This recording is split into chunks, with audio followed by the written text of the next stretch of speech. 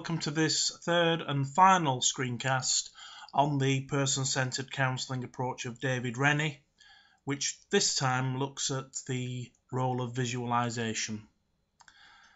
The aim of this short talk is to describe Rennie's two categories of visualization, concrete and symbolic, and show how we can use these to deepen the exploration of client material during a session.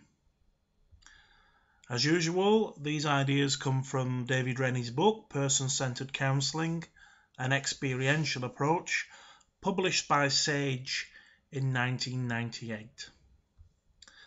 The basic idea of visualization is that while the client's speaking and telling their story, inevitably pictures and images will form in the counselor's mind in response to what the client is saying in other words, the client is evoking in the counsellor visual imagery.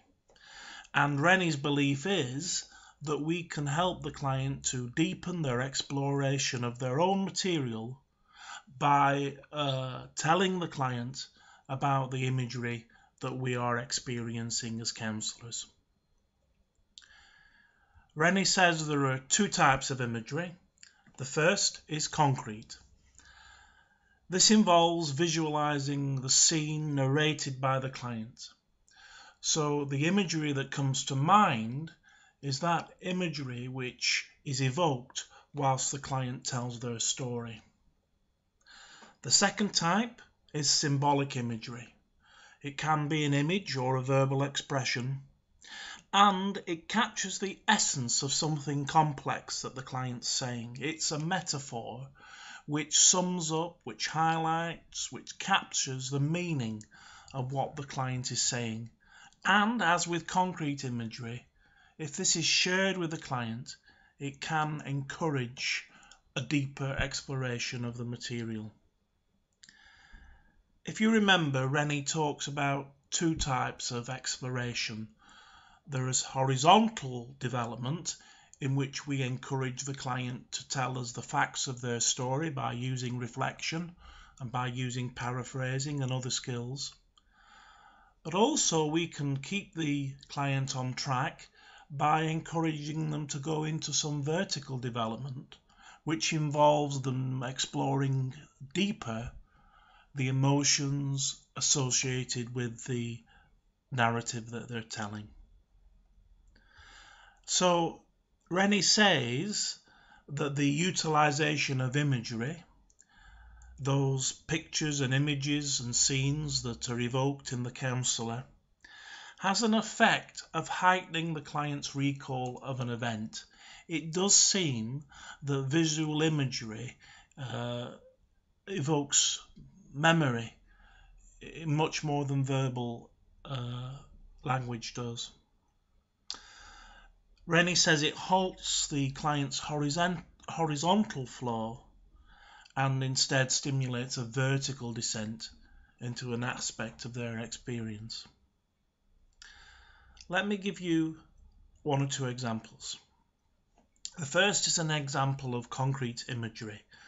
As your client describes his school experience, perhaps being scolded as a boy, you imagine him as that little boy being scolded and the feelings that are associated with that experience. And Rennie's argument is that if we can um, tell the client about this imagery, it will enable the client to stay with that experience a little longer, explore the feelings a little deeper, and have a much more profound uh, um, insight into their feelings around the, the scene as a result of our exploration, our sharing of the imagery. The second example is around symbolic imagery. The client tells you about a time when she was clinically depressed and it invokes in you a real sense of a trapped animal, an animal caught in a trap with no escape. And again, reporting this to the client can be a jumping off point for a greater, uh, more meaningful exploration of what it was like to be clinically depressed. And then something interesting, um, Rennie talks about verbal metaphors. These are often cliches, hackneyed phrases that are used every day in the language, and yet they can have some real powerful meaning for the client. And so we shouldn't shy away from using language which perhaps seems uh, a little um, hackneyed, uh, a little cliched, but nevertheless it can have great meaning for the client.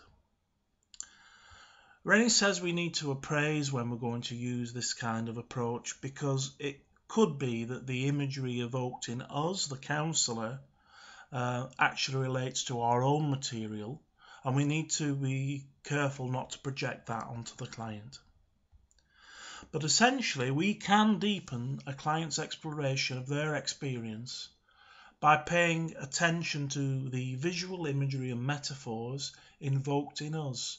And if we can share that imagery sensitively with the client, that can lead to a deeper, greater, more fruitful exploration of the experience holding the client in that experience and helping them to stay with the feelings and therefore make sense out of what happened. Thanks very much.